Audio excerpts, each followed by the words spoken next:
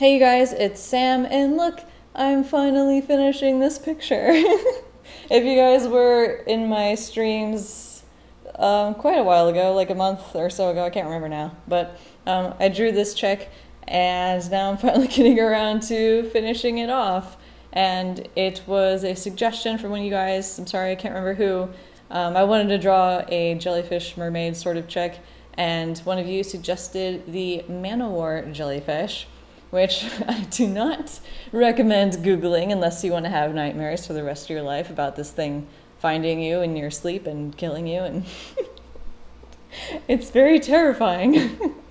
I actually was, I started to line this digitally on a stream, but then I ended up not, like removing all of that line art, printing out the sketch and then tracing it on a separate piece of paper and then like lining it on that.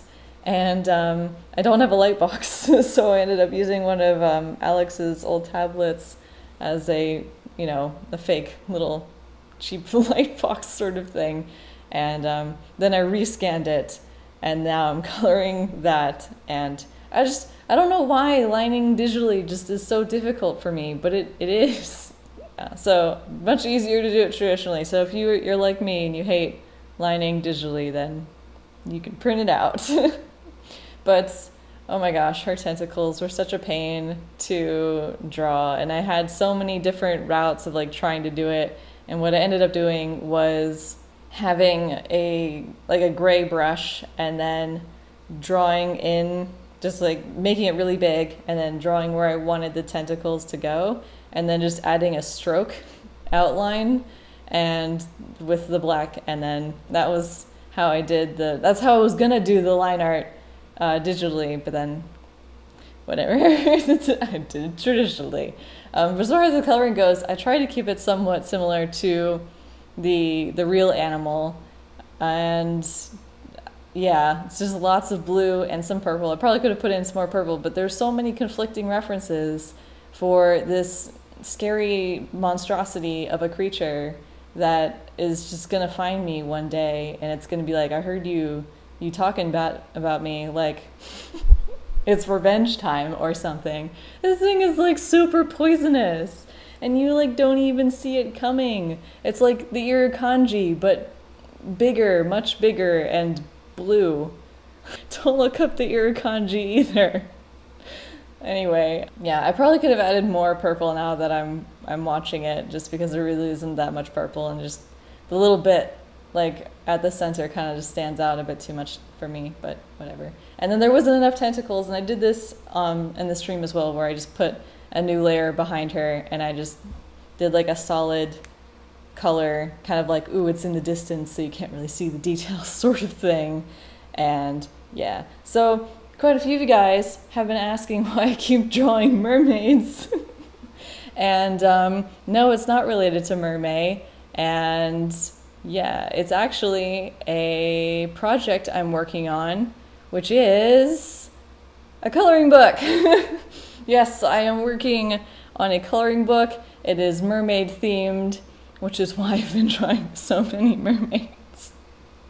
Um, if you saw my three marker challenge that I uploaded recently, recently, um, then you would have seen one of the ones that are going to be that is that is going to be. I hate English. That's going to be in the coloring book, and this one will be as well. And they're gonna there's gonna be like a whole bunch of other ones. It's not just gonna be two pictures. It's boring, but um, yeah. So I have a whole bunch of plans for that and it's not it's not out yet. So don't go looking for it.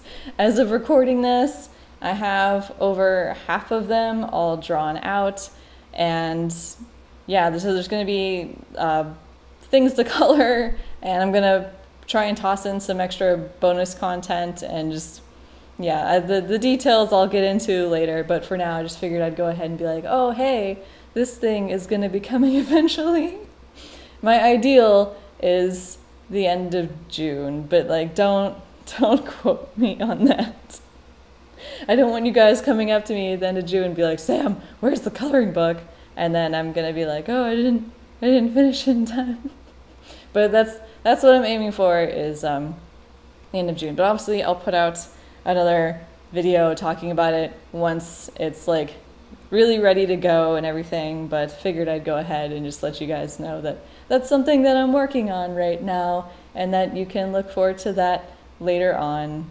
But yeah, anyway, I'll talk about more of that more later on. But um, back to this picture. At this point, I'm just adding a crap ton of textures that I found from Pixabay.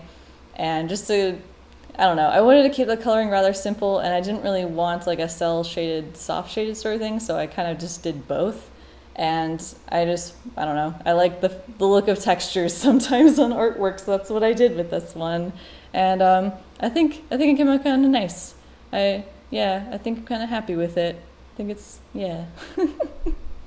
But anyway hopefully you guys enjoyed and thanks for watching. Bye